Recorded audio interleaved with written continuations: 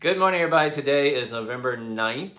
Happy Tuesday to you. Dr. Vuong here with a quick COVID update. I'm going to tell you, um, my partner uh, got on the internet and found a place for us about 40 minutes away from where I live to get my five year old vaccinated. So I'm going to take Mason to get vaccinated today. Apologies for my allergies. I ran out of my drugs.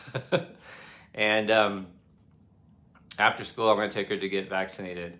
And, um, you know, they're really doing a pretty decent job of rolling out the uh, pediatric dose vaccines um, in, in, pediatric uh, pediatricians' offices. But you can also just go to a pharmacy and just, um, they're going to want to know your pediatrician's name and um, you'll give you a record. Just take that to your pediatrician's office and that should be good. And uh, remember, the pediatric dosing is just Pfizer only currently, and it is um, one third the dose. So an adult dose is 30 micrograms of messenger RNA, and uh, the pediatric dose is 10 micrograms. Same same thing, three three weeks apart, and then give yourself a couple weeks um, for them to have full vaccination. But you know, there's a good chance that if you get them the first dose now and that would mean her second dose would be beginning, uh, you know, end of November, beginning of December, and but she'll have good protection uh, for Thanksgiving, so it's probably okay to have them come by uh, to have a family gathering as long as everyone's vaccinated. Now, I know there's going to be haters on my fan page, and people are going to say, "Well, how dare you put your child at risk?" Uh, um, you know, you don't know what the future long-term effects are. It could affect her fertility, etc. Listen, there's no data on that that that shows that there is no long-term effects on fertility. We feel pretty confident about that. People are getting vaccinated and they're having babies afterwards. Uh, you know, I want to. I'll spend a little time talking about where that sort of uh, false misinformation came from, but um, just real quick, I will say for kids, I will tell you that here's the truth. Just put truth in the comment section if you agree with me. I'm going to tell you, having worked in hospitals, having a kid, a, your child being being in the hospital is much more harmful psychologically, much more upsetting and disturbing to them than wearing a mask. I promise you and wearing a mask, you know, the kids don't really care. It's the adults who care. So what we want to do is keep our kids out of the hospital. It's going to do more harm for them to be in the hospital, especially if they're really sick and if they're in the ICU. And what's, um, you know, so a vaccination, they've had shots before. They've had measles, polio, MMR. So just to have another shot is not going to really affect the child. And it's weird because, you know, when vaccines first came out, there wasn't this weird anti vax debate about, like, oh no, I'm not going to get the polio shot. So I looked this up for you guys. Um, back a long time ago in the 1700s, smallpox was a huge killer. And um, smallpox has since been eradicated, uh, except for like a little vial held somewhere in a high security lab. But it's pretty much been er- eradicated here.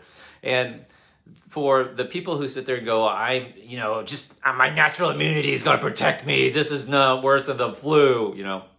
Well, that did not work out too well for the Incans, did not work out well for the Aztecs, did not work out well for the Native Americans you know, the conquistadors did not conquer the Native Americans because they were so superior in strength in every way. And in fact, it's quite the opposite. You know, the Incans and Mayans were running through the forests and mountains like like billy goats, and the conquistadors were like um, held back with their heavy armor, and they were just really clumsy. And that's why the honestly, like the Mayans and Incas didn't think much about them because they were so clumsy, and um, they got defeated because of smallpox. So I looked this up for you.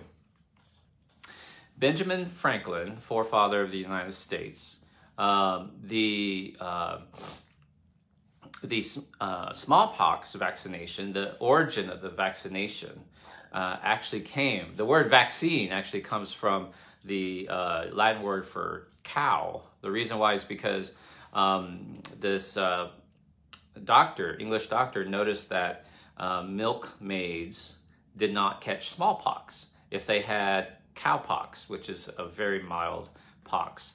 And so he started inoculating people with cowpox, which you can think of it as like a like a weaker form of smallpox, and that gave them protection to smallpox.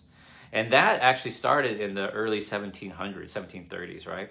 And Ben Franklin, I looked this up. Ben Franklin has this quote that says, you know, he lost his son, he lost a child to smallpox because, and he says, because I was hesitant.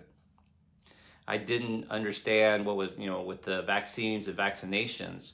And I just thought to myself, I was like, I thought vaccines were like 1950s, you know, like like FDR sort of thing. Like I didn't think it was like 1700s. Yeah, 1700s. Ben Franklin said, I lost my child to um, smallpox because I was hesitant about the vaccine.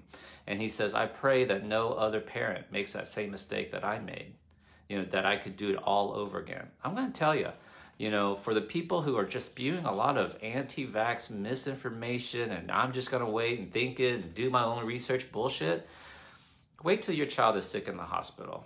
It's, you know, your child's sick at home is a miserable experience. The second you have to go see, uh, check your child to the doctor, you're upset, you're worried, you're concerned.